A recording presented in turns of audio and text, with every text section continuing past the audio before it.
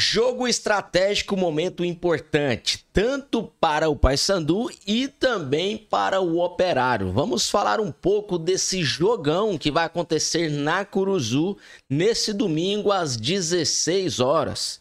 Eu vou passar aqui para vocês também quem é que vai transmitir e vou passar também aqui para vocês o clima, né, desse jogo nas redes sociais de cada um dos clubes, tanto do Paysandu que joga em casa e também do Operário. Nós temos então de um lado o Paysandu, né, que está ali com seus 15 pontos próximo da zona do rebaixamento, e temos o time do Operário, que é o atual terceiro colocado, se nós formos ver aqui, ó, terceiro colocado o Operário na Série B. O time do professor Guanais tá mandando ver 21 pontos. Porém, Porém, na última rodada, o time deu uma patinada. Enfrentou ali o time da Pantera, que vinha também, vem num bom momento, que é o time do Botafogo de São Paulo. E aí, o time do Botafogo venceu dentro do GK. Apesar de ter posse de bola, pressão, faltando ali aquela última bola, né?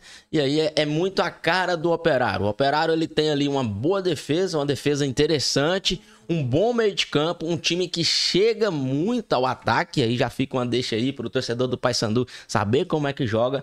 Só que é um time que erra muitos gols, né? Erra muitos gols.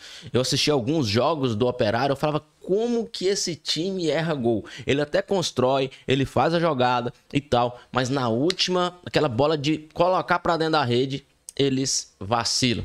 E aí, o time vem aí dessa derrota após quatro vitórias consecutivas. E uma curiosidade: os jogos que o Operário está não costumam sair gols, a não ser né, quando ele perdeu lá de 3 a 0 para o Coritiba. Mas costuma sair um golzinho e olha lá se não vinha um 0 a 0 no placar. Isso se mostra construção defensiva e também do meio de campo do Operário, que é muito bom. Se o ataque começar a funcionar, esse Operário vai dar mais trabalho ainda do que já está dando. Então o time pretende né, voltar a vencer o time do Operário. Tava vendo uma entrevista do jogador índio, tomou a posição de titular na equipe, e ele falando justamente disso aqui que eu falei aqui para vocês. O time constrói, mas tá faltando um pouco de capricho, né? E aí, vamos ver agora como ele vai jogar contra o Paysandu após essa derrota para o Botafogo. Vamos ver como que vai ser o comportamento do time do Operário.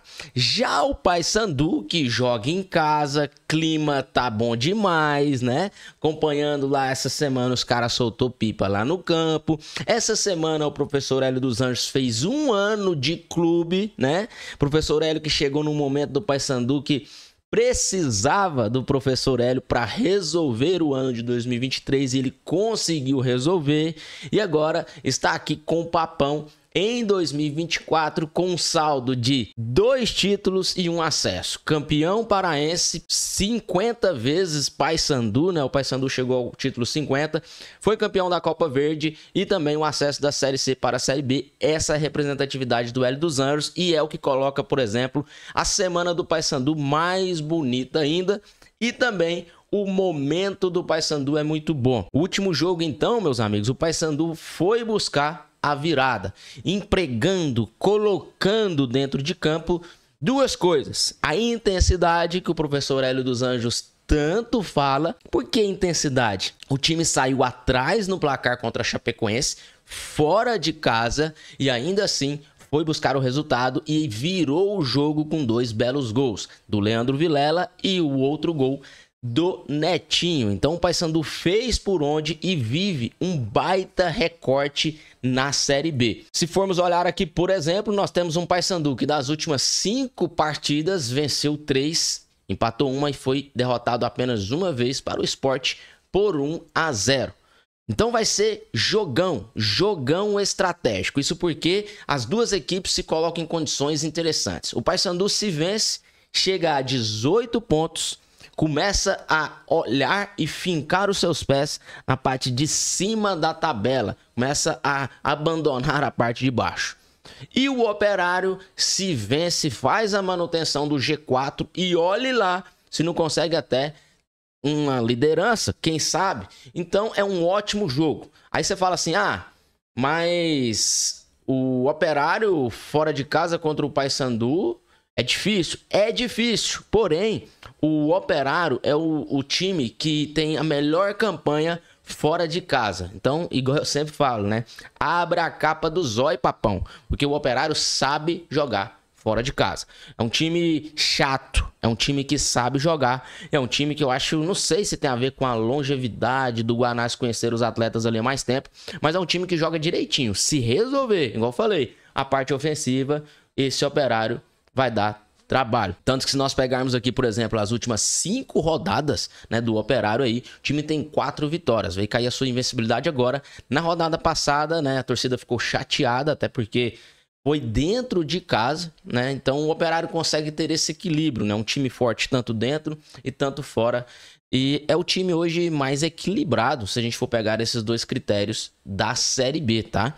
Time que toma poucos gols, a não ser, né, o jogo contra o Coritiba aqui, ó, que deu uma desandada. E o time tem 10 jogos, né, que não sai aí mais de um gol na partida. É, é loucura, né? Então, esse é o operário. Essa é a forma de jogar do operário. Então vamos entender um pouquinho, né, como que jogou cada um desses times na rodada passada. Ó, o time do Operário jogou com Rafael Santos no gol, com o Santiago Campos na direita, Joseph William Machado na zaga, o Pará na esquerda, Índio Rodrigo Lindoso, Pedro Lucas e no ataque o Rodrigo Farofa, na esquerda o Maxwell, né? Maxwell é um que vem errando aí muitos gols aí, precisa colocar a bola para dentro. E na direita o Daniel House, não aquele, tá, pessoal? Então, esse é o time do Operário que jogou a rodada passada, o estilão de jogo do Operário. E o Paysandu, né? E o Paysandu tem suspensão, o Paysandu tem problema aqui para resolver, né? Inclusive, eu vou mostrar para vocês como é que tá o clima nas torcidas, tanto de um lado e também de outro, mas o Paysandu, que entrou com Diogo Silva, na direita o Edilson, Wanderson e Quintana atrás, o Kevin na esquerda. No meio-campo, João Vieira, Leandro Vilela e Juninho. Ponta esquerda, Esli Garcia, ponta direita, Jean Dias e no ataque, o Nicolas. Qual que é o problema aqui do Papão? Leandro Vilela. O Leandro Vilela tomou o terceiro cartão e está suspenso, então não joga. Né? A dúvida é, vai com Fraga fazendo ali aquela composição didática, né? De volante, guardando a posição certinho e tal. Ou vai com o Netinho, né? Que vem aí pisando bem no campo ofensivo e vem fazendo, sim, boas entradas no decorrer da partida e vem resolvendo. E aí, com quem você entraria, torcedor? Com quem você entraria para esse jogo contra o Operário? E a outra notícia, essa já é notícia boa, né? É que o Lucas Maia volta ao time. O zagueirão volta aí. Quem sabe já compõe aqui a zaga com o Quintana, né? Fica aí Lucas Maia e Jefferson Quintana. Quem sabe aí. Beleza? A transmissão desse jogo entre Paysandu e Operário fica por conta da Band, do Premiere e do canal GOT, pessoal. Eu, particularmente, sempre acompanho pelo canal GOT. E aí, então tem essas opções. Domingão, 4 horas. Que jogo bom de acompanhar, né, pessoal? Agora eu quero mostrar para vocês aqui como que tá o clima e o assunto lá no Paysandu é justamente esse, né? Quem vai entrar no lugar do Leandro Vilela. Clima tá bom, clima tá leve, o momento é ideal, né, para ir tanto as duas equipes, mas falando aqui do Paysandu, porque joga agora dentro de casa, depois vai até o Couto Pereira, lá em Curitiba, enfrentar o time do Coxa, e aí depois a janela já vai estar aberta. Claro que vai ter especulações também de atletas do Paysandu para sair, isso é o mercado da bola, mas também já podemos ter aí chegadas de reforços, então os times vai começar a dar uma oxigenada nos elencos, então é o momento, é o momento, tá? Então vamos dar uma olhada aqui, ó. O time do Paysandu Professor Hélio aqui, não quero ver você aqui agora, professor. Aqui, ó, na preparação, ó, ó, ó, primeiro comentário aqui, ó. Só não me vende Fraga no lugar do Vilela. Torcida vem pedindo aí, né? Torcida pega no pé do Fraga, torcida quer o Netinho, né? Porque o Netinho fez o gol, tá em alta. Tanto que se o Leandro Vilela já não vai jogar porque tá suspenso e o Netinho, né, não tiver no time, então já tem fora aí os dois jogadores que fez gols no último jogo. Que venha mais três pontos domingo, só ganha, só ganha domingo. Tipo assim, não estraga meu final de semana. É. Nicolas tem que cortar o cabelo, tá pesando no jogo. Galera tá pegando no pé do Nicolas, porque até o momento ele ainda não rendeu o que se espera dele na Série B, né, pessoal?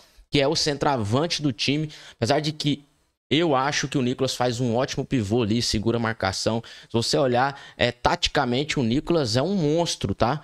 Depois, você que é torcedor do Paysandu, fica observando o Nicolas jogar para vocês verem. Ele sozinho ali, ele consegue segurar dois, três caras. Sem Nicolas, pelo amor de Deus, ó. Quando você vê um torcedor falando isso aqui, ó, é porque, não sei, na minha opinião, tá? Eu não sou o dono da verdade, mas é porque não tem a noção tática. Os atacantes, centravantes, passam por má fase, não tem jeito. Então, quando o centroavante tá por uma fase, tem aquele centroavante que mesmo na má fase ele não faz nada. E esse sim, talvez merece um banquinho. Agora, taticamente, o Nicolas é muito importante, principalmente nesse sistema do L dos Anjos. Porque enquanto ele segura dois ali, você tem os dois pontas que são rápidos, tanto o Jean Dias, o Wesley, também o Edinho, a galera que entra aí, são pontas rápidos que conseguem chegar no fundo ali. E já tem dois jogadores que o Nicolas está segurando. Aí tu consegue trabalhar a jogada para uma batida pro gol, por exemplo é, os, os meias que estão chegando, eles chegam de frente pro gol. Por quê? Porque muitas das vezes eles têm aquele espaço para bater pro gol. Por quê? Porque o Nicolas está segurando o marcador para não, não, não dar o fecha ali na frente da área. Então, às vezes o torcedor tem que pensar um pouquinho. Ainda bem que o Brian voltou a jogar, Edilson tá recuperado. Para o Paysandu ser campeão, só tem que ganhar mais 20 partidas. Só isso, né? Só 20 partidas, tá de boa. Segundo alguns torcedores, o Nicolas é super importante, porque faz a parede, traga o Nicolas careca, então, que ganhava bem menos e fazia a mesma coisa. O que, que vocês me dizem do Nicolas? Nicolas merece pegar banco no time do Paysandu, não coloca esse fraga de titular não. Então o assunto é esse. Mas o clima tá bom, tá, pessoal? A questão das cargas de ingresso aí praticamente vai vender quase tudo ou tudo, vai vender tudo, eu acredito em casa cheia, caldeirão, tá? Inclusive, o torcedor do Papão me mandou aqui, ó. Se liga no caldeirão, já são mais de 13 mil ingressos vendidos. O clima é esse. O clima é esse, ó.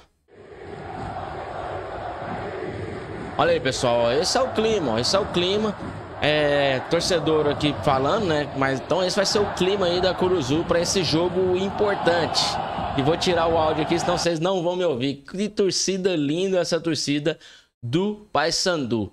Ó, esse jogo sim era pra ser no Mangueirão, galera já querendo casa maior, pedindo mosaico, se você for olhar aqui, tem, tem de tudo. E a torcida tá empolgada, e é para estar empolgada, né, pessoal? O Paysandu vive o melhor momento na Série B e é uma crescente. Então tem que ganhar. Jogo dentro de casa aí é a oportunidade de ganhar para continuar nessa crescente. E o time do Operário, né? Ó, é o time do Operário saindo de Ponta Grossa, preparando a viagem, o Ronald. Ó, o time deles se preparando. E aí o torcedor, ó, a torcedor do Paysandu já tá lá na rede dos caras tirando, né? Vem pra panela de pressão. Tem que ganhar lá seus pipoqueiros, pois aqui e tal. Então, a, o clima é diferente. É, é, essa é a, é a torcida brasileira, né, pessoal? A torcida brasileira é isso. O time tava muito bem, tá no G4, perdeu em casa. E aí já começou a pressão, não tem conversa.